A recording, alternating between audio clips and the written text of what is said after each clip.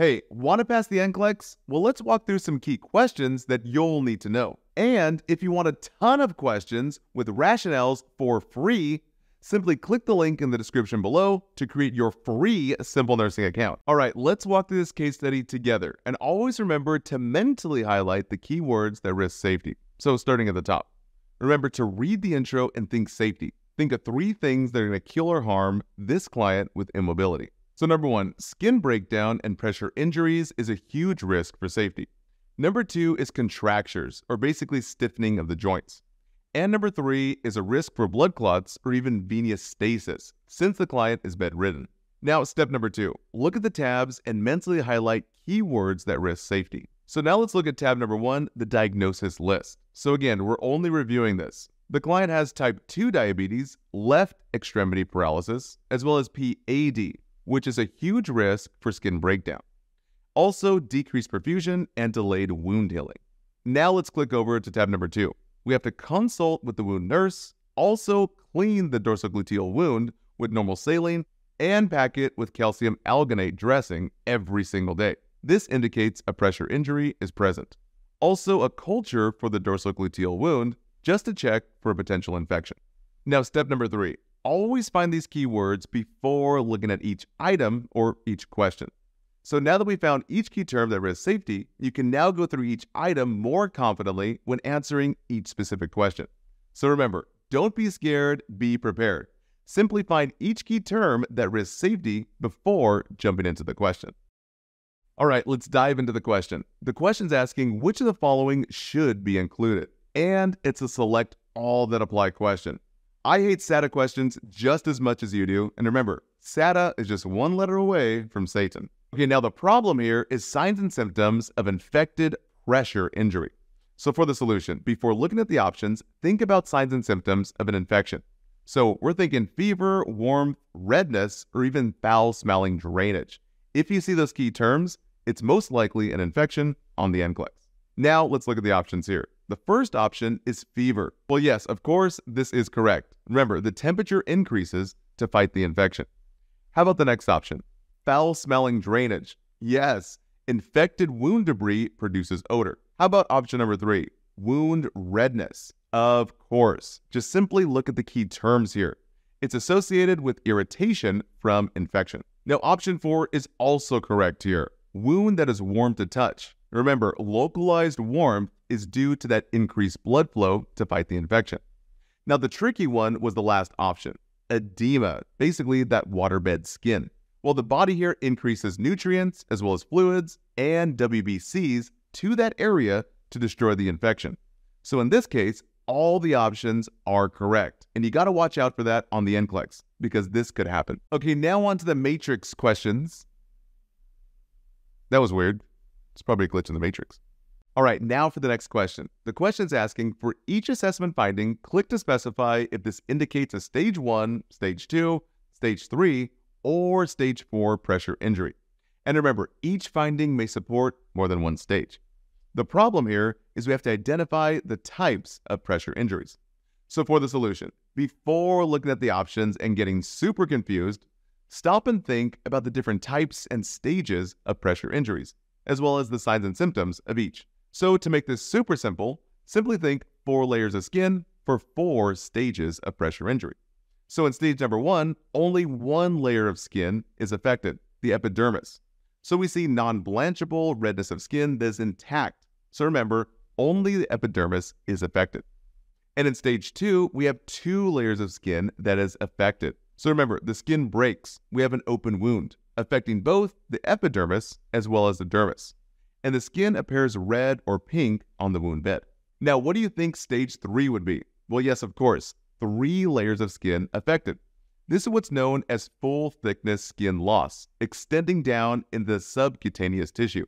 So through the epidermis and the dermis down to the subcutaneous fatty tissue.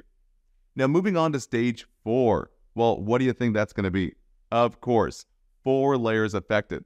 It extends all the way down into the muscle, even the bone and tendon. Oh, this one's really serious. But it's not as serious as the unstageable, the full thickness skin loss with eschar and even slough. All right, now finally for the options. Let's go through the assessment findings and find if it's stage one, two, three, or four. So starting with non-blanchable erythema. So simply think, one layer of skin affected, so it's gotta be stage one.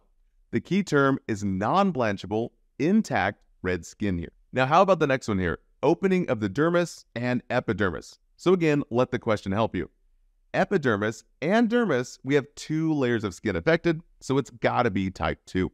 Now, moving on to the next one extends into the subcutaneous tissue. Now, it sounds a lot like we have three layers of skin affected, so it's gotta be stage 3. And the last one here involves fascia, muscle, and even possibly bone. So, man, that is four layers affected, so it's gotta be stage number four. This question's asking to select three diagnoses that increases the client's risk for pressure injury development.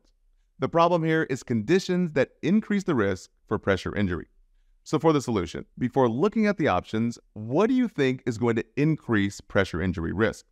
Well, number one is immobility, because remember, bedridden clients have extended pressure even on bony prominences. Number two is diabetes, which I call diatrites, very sugary, syrupy blood. The blood is turned to mud from all that high sugar and this leads to poor blood flow and poor wound healing. Now, the last one here is vascular disease. So, any type of vascular disease impairs circulation, which impairs healing. So, now let's dive into the diagnosis and pick three. First is hypothyroidism. Well, this one's incorrect. Hypothyroidism causes dry skin and fatigue, even weight gain. There's no significant increase in the risk of pressure injury here. What about diabetes mellitus type 2? Well, yes, of course. Remember, diabetes is diatrites from all that sugar in the blood. So this leads to poor blood flow and delayed wound healing and increases the risk for pressure injury. How about peripheral arterial disease, that PAD? Well, again, let the name help you. Peripheral arterial disease. There's a disease in the arteries here. So, of course, we're going to see impaired circulation and decreased perfusion that impairs oxygen. So, this one is correct. What about paralysis of the lower extremities? Well, paralysis leads to decreased blood flow and even impaired sensation. Now, the client with paralyzed legs may not notice pain, pressure, or even injury, which increases their risk. Now, the last option is incorrect because GERD is just fancy words for gastric reflux, or basically heartburn, that indigestion. But it doesn't increase the risk for pressure injury on the skin. That's more of a GI thing. This question is asking us to complete the following sentence by choosing from the list of options. The problem here is the HCP orders related to the infected pressure injury. So for the solution, before looking at the options, think about safety. Number one is culture the wound first before giving antibiotics. Then we apply wound care. Number two is frequent skin assessments. And the last one here is reposition frequently as well as increase fluids. Okay, now that we brainstormed, let's dive into the options here. So the question's asking the nurse must first blank, followed by blank. But if you were to ask me, the nurse must first grab some wine, followed by a back massage. All right, but serious. The nurse must first blank. So let's look at response one. Are we going to culture the dorsogluteal wound? Well, yes, this is priority because it determines the causing factor of the infection. Now, the rest of the options in column one are incorrect because we're not going to administer the IV antibiotics. This should only be done after the culture is performed. And we're not going to consult with the wound care nurse because this is not the priority or that first initial action.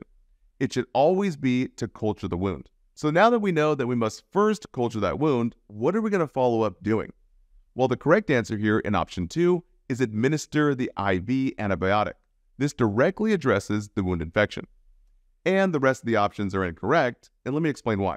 Inserting an indwelling urethral catheter, fancy words for a Foley, this action does not address the infected pressure injury. And the last option is incorrect because simply administering zinc 20 milligrams by mouth is not the thing to do. We're simply giving the client a vitamin, and the client needs antibiotics. This question is asking us to click to specify the nursing action that is appropriate for the client. Each category may support more than one potential action. The problem here is writing a plan of care for stage 3 dorsogluteal pressure injury. So for the solution, before looking at the options, think about interventions for a dorsogluteal pressure injury. So number one, we have to assess the skin and document it. Number two is always culture the wound first, then give antibiotics, and then follow up with wound care. Also, we got to be thinking about frequent position changes and even hygiene care. And then, very lastly, is nutrition. Increase those fluids and increase protein intake. Now, finally, let's look at the options here, starting with the category incontinence care. So, what are we going to do for nursing actions? Well, the first option is correct. The wound is in an area which can be contaminated with feces. In addition to routine incontinence care, additional measures should be in place to avoid fecal contamination in that wound. So, yes, we have to protect the wound and avoid contamination. Now, the next option, routine incontinence care should occur, is wrong. And here's why it requires frequent, not just routine care. Now, let's move on to pain. The first option is correct. The nurse should evaluate for pain and treat accordingly. How about the next one here? Pressure injuries are not painful and do not require comfort measures. Well, no, that's completely wrong. Stage 3 dorsogluteal wounds are likely to be very uncomfortable, so we can't choose that one. Now, moving on to hydration here. Are we going to choose the first option? Well, this is inaccurate information. Extra hydration for this client is not required, when actually it is. So we have to choose the next option. Remember, hydration is critical for overall skin health. It increases oxygen as well as nutrients to the skin and promotes skin strength.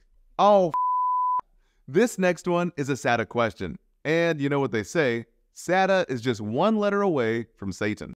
All right, guys, let's break this question down. The question's asking us to select statements that indicate teaching has been successful. The problem here is correct teaching about pressure injury. So, for the solution, before looking at the options, think about important teaching for pressure injuries. Well, number one, proper hygiene and wound care. Number two is avoid prolonged pressure, for example, being in bed or in one place for too long. And number three, think about the importance of nutrition. We always increase fluids and increase protein. So now let's look at the options here. Option one shows a statement that I should avoid staying in the same position for more than two hours. Well, yes, this is good. It helps prevent excess pressure that can lead to skin breakdown. How about the next one here? I'm going to consume a diet high in protein and vitamin C. Yes, the key term here is protein. It facilitates wound healing. How about option three here? My bed linens should remain dry and wrinkle free. Of course, this decreases the risk for friction and shearing forces that can damage the skin. Now, the next option is incorrect. It is acceptable to limit fluids. No, we want to increase fluid as well as protein to protect the skin. Now, the last option is incorrect here. Sitting on hard surfaces, like a hard chair, is best treatment for my pressure injury. No, we want to avoid hard surfaces. This can cause increased pressure and can further damage existing pressure injuries. Whoa! Head to the link in the description below for way more NGN rationales just like this. All right, let's dive into this question. We're being asked to click to highlight the findings that require immediate follow up. So simply think safety. The problem here is the client is requiring an NG tube for feedings. So, for the solution, before looking at the options, think of two things that can kill or harm the client with NG tube feedings. Well, number one, we always verify placement before feeding. The worst possible scenario is that tube gets dislodged from the stomach and now fills up the lungs with feeding. You can simply kill your client that way. And number two is the huge risk for aspiration. Now, let's look at the big chunk of information here. So, as we scroll through the case study, look at the key term here the client is supine at 10 degrees. Guys, that's a huge risk for aspiration. The client should be in Fowler's or at least high Fowler's position with the head of the bed elevated. Now, scrolling down, 200 mLs of gastric aspiration was noted and reintroduced to the client, and 60 mLs of enteral feeding solution was administered. So, we definitely need to highlight this because it's concerning finding. So, fancy words for the enteral feeding was administered and the residual showed 200 mLs. So we should hold the feeding and we need to report this to the HCP. Now, the next thing we're going to highlight is the nasogastric tube was flushed with 10 mLs of tap water at completion. Now, the reason we're highlighting it is because we're not administering 10 mLs. We have to flush with 30 to 60 mLs of water. And don't let the tap water distract you. On the NCLEX, the water can be tapped. All right, another complicated question. Let's make it simple here. For each nursing intervention below, click to specify if the intervention is appropriate for clients with peripheral venous disease, peripheral arterial disease, or varicose veins. Now, each intervention may support more than one disease. So the problem here is interventions for vascular diseases. Now for the solution. Before looking at the options, what do you know about vascular disease? Well, number one, we have to promote circulation. So think PAD, let the name help you. You have to hang the leg to provide circulation. And for PVD, you simply use the V to elevate the leg. Also consider smoking cessation, or basically stop smoking, and weight reduction. Okay, now finally, let's dive into the options, starting with PVD, that peripheral venous disease. Are we going to place the leg in a dependent position to relieve pain? No, because remember, PVD, you have to elevate the leg. What about promoting weight reduction? Well, of course, that's always a good choice on the NCLEX. But in this case, it reduces strain on the cardiovascular system and improves blood flow. What about elevating the leg four to five times a day? Yes, let the name help you, elevating the leg with PVD. How about applying anti-embolism stockings as prescribed? Yes, of course. This actually helps prevent clots in deep veins. How about the last one here? Encourage tobacco cessation. So basically, stop smoking. Yes, this is always a good choice on the NCLEX. Tobacco impairs the vessels by constricting and impairs or slows blood flow. Now let's move on to PAD, peripheral arterial disease. Are we going to place the leg in a dependent position to relieve pain? Yes, of course, because let the name help you. PAD, we hang the leg, basically dangle the leg. This actually promotes circulation down to the toes. What about the next one? Promote weight reduction. Of course, this is always a good choice on the NCLEX to reduce weight. How about elevating the legs four to five times throughout the day? No, that is only for PVD or venous issues. What about applying anti-air embolism stockings as prescribed? No, we don't want to do that because we have an arterial problem. And what about the last one? Tobacco. Yes, stop tobacco. So these ones should always be correct. Remember, weight and tobacco reduction is always encouraged on the NCLEX. Now, lastly is varicose veins. Are we going to place the legs in dependent position to relieve pain? No, let the name help you. The key term is veins. So remember, veins, you elevate the legs. And there it is again, promoting weight reduction, of course. How about elevating the legs four to five times a day? Yes, let the name help you. It's a venous condition, so we elevate. What about applying anti-embolism stockings as prescribed? Yes, of course. Extra squeeze helps to actually relieve the symptoms. And the very last one, stopping smoking, is always a good choice. Okay, last question for today's video coming right up. And if you can't get enough of these, then you can get way more by just clicking the link in the description below. Now for the infamous bow tie questions, which can be really complicated, but let's make it simple.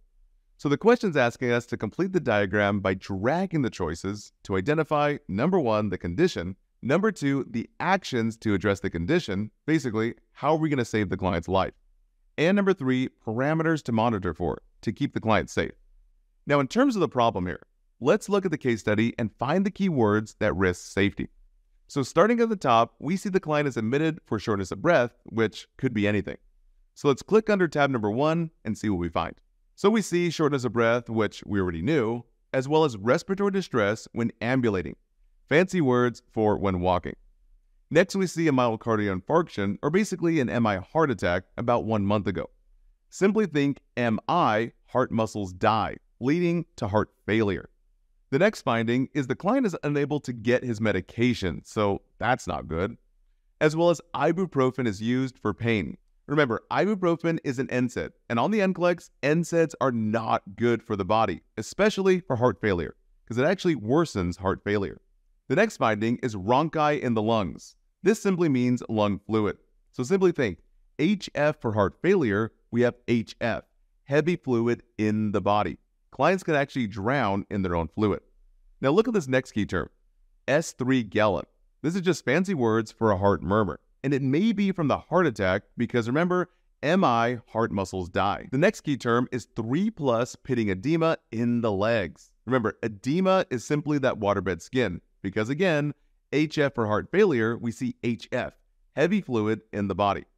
Now let's look at the vital signs. And oh boy, these are all messed up. The blood pressure is super high, 159 over 88. So that is really high because again, heavy fluid with heart failure. Heart rate is up at 110, the respiratory rate is at 26, but take a look at this oxygen saturation. It's at 92% on room air, and it's probably from all that lung fluid, and the temperature is fine. So now that we have all this info, simply stop and think. Think about what kills the client first. Well, think HF for heart failure, we have HF, heavy fluid in the body.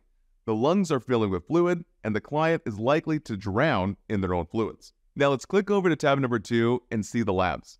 The first thing we see is a BNP of 845. Holy guacamole! Now this case study is nice because it gives us the normal range, but look at that normal range. It maxes out at 100. So use the memory trick. BNP is just bulging ventricles, bulging from all that heavy fluid inside the heart with heart failure.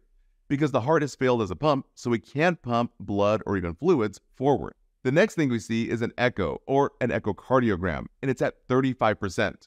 Normally, it's above 50%. So an echo means that the heart is pumping out less blood to the body. And remember, HF for heart failure, the heart is failing as a pump, so we see HF, heavy fluid inside the body. So for the solution, we have a lot of information here. So before looking at the options and getting confused, what do you know about the data findings? Always think what kills or harms the client first. So remember, HF for heart failure is HF, heavy fluid in the body. And let the case study help you. Look at those key terms that we just identified. MI, heart muscles die, so the heart fails as a pump. The rhonchi in the lower lungs is simply lung fluid from all that heavy fluid from heart failure. 3 plus pitting edema in the legs, we have edema, that waterbed skin. So the entire body is filling with water as well as the high blood pressure from heavy fluid, and 92% of oxygen on room air, probably from that high fluid. And BNP is at 845, and the echo is low at 35%.